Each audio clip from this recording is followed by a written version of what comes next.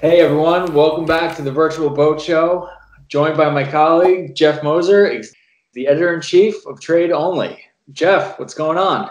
Hey Dan, how you doing? Just just hanging in quarantine, just like you.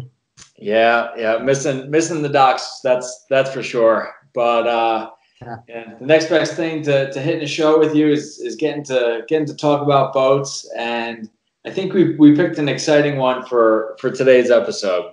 Mm-hmm. Uh, I know I know we both are pretty familiar with the Prestige lineup, and it was actually when we were at Cannes. God, it feels like what 30 years ago that we got a little bit of a sneak peek of the Prestige X line.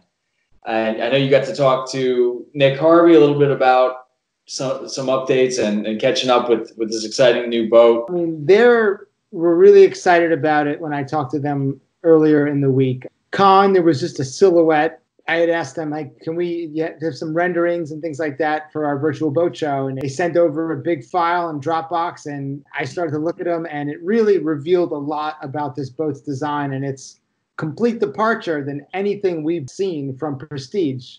And we've both been to seen shore events where every boat they've built, the complete model line is there. And this boat looks nothing like any of those boats. Right. And that's that's maybe the most surprising thing about this boat, you know, that we were talking about is, you know, it's the 30 year anniversary. And, and if you look at their boats from from beginning to today, it's it's really always seemed like very careful, you know, steps and progression. Each year the models just continued to evolve, but they really had very similar DNA. Then this thing comes out, and it's like, wow, this this is different. This is going to be pretty big.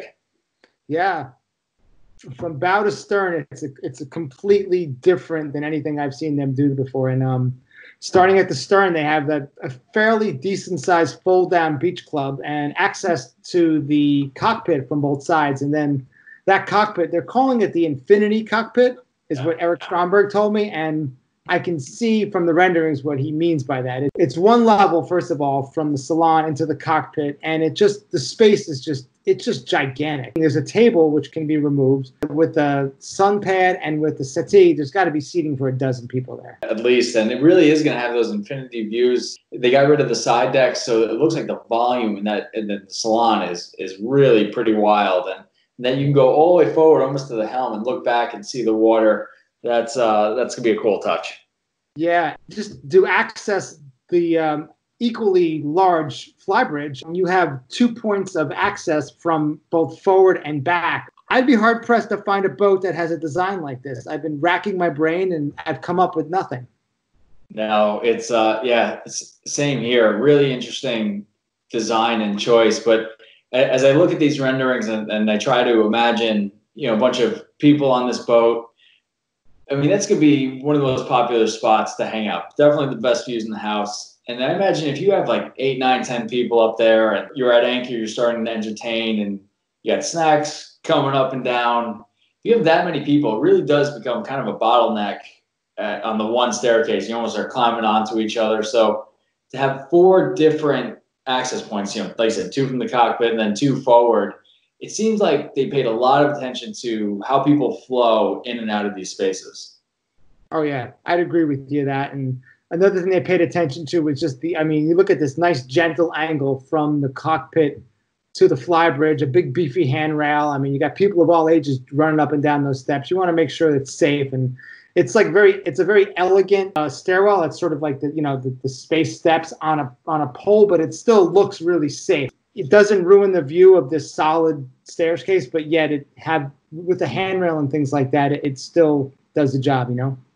Absolutely. So another another point that that jumped out at me. You talk about social spaces. I think a lot an area where a lot of people are naturally going to congregate is around the galley, and certainly seems like the biggest, most substantial galley I, I've ever seen on the Prestige. You know, looking at the renderings, it's a real central spot for this boat. But I'm told it comes in in two different options. Kind of what I would expect in the American style is is big and wide open, but for your the European and Asian market, you could also get that galley more enclosed if you prefer cooking in private. So it'd be be interesting to see which one's more popular. Yeah, I mean, having those full size appliances, lots of storage. I mean, you can be cruising for a week and not have to stop and restock, which is a really good thing to have. and it's like you said on one level, and then a few steps up, you're at the helm. Mm-hmm. Space, I really liked looking at the renderings and looking at some of the short video of Eric Stromberg. He was on a full size mock up. I'm a sucker for a reverse rake windshield that has that, just looks like a really good space. Uh, it appears to have really very good sight lines all, all around, at least 180 degrees around and aft. Um, and there's also to starboard, there's access to the foredeck, and then if you want to go back to the flybridge as well. So it's just another way of sort of getting around on the boat. That's a good point. And Jeff, let me ask you, kind of in your in your conversation with Nick, did you guys get into when we might ex- expect to see the real thing? This boat is in build, well along its way, and they're expected to uh, splash in June and do some sea trials of the boat. It's a couple of engine options. This one's going to have the largest Volvo Penta 1350s at 1,000 horsepower. You can also get the um, 1200 to 900 horsepower apiece. So they're going to run some sea trials all through June with the hopes of having this boat at Cannes in late September, and then we will see it stateside at Lauderdale. Wow, awesome! Well, uh, definitely, definitely look forward to to that. And Jeff, you know, the, the big question that comes to mind is you know, we had so much fun on the uh, on the 460 last summer. It was uh, great to spend time with the team. I think the only way to one up that is if you get a hold of Nick later, uh, let him know Paramount Yacht Crew is looking for an upgrade. We'll we'll trade in the 460 for the 70 any day. I'm ready to spend summer on the Med on that boat. And it'd be a great way to uh, sort of break this um, social distancing that we've all been experiencing throughout the world. Jeff, well, you know, I, I know you've, you've taken over the helm with the sister publication, uh, doing a great job with reporting at Trade Only, but it's it's always fun to catch up and, and talk both. So yeah, still, you know, I'm reporting on, you know, the B2B side's got me reporting on the news and, and, and trends and things like that, but I'm still my obsession is strong about all things boats and I'll see you here again very soon, I'm sure, doing the same thing. I'll be hitting you up to talk about another one. That that sounds like a plan. I'm going to hold you to it. So, all right, take it easy, Jeff. Thanks for joining the show. All right, we'll talk soon. Talk to you later. Bye now. Bye.